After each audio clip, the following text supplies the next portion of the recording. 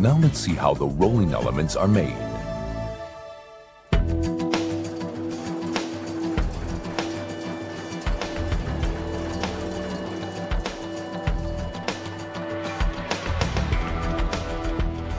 To start, steel wires are die cut into balls.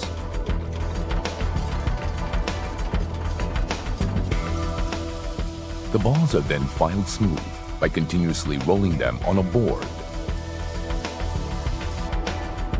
After undergoing heat treatment, they are repeatedly polished with a grindstone to a mirror-like shine. Then, after each is determined to be spherically precise, they are sorted by diameter to within plus minus one one thousandth of a millimeter and delivered to various assembly plants.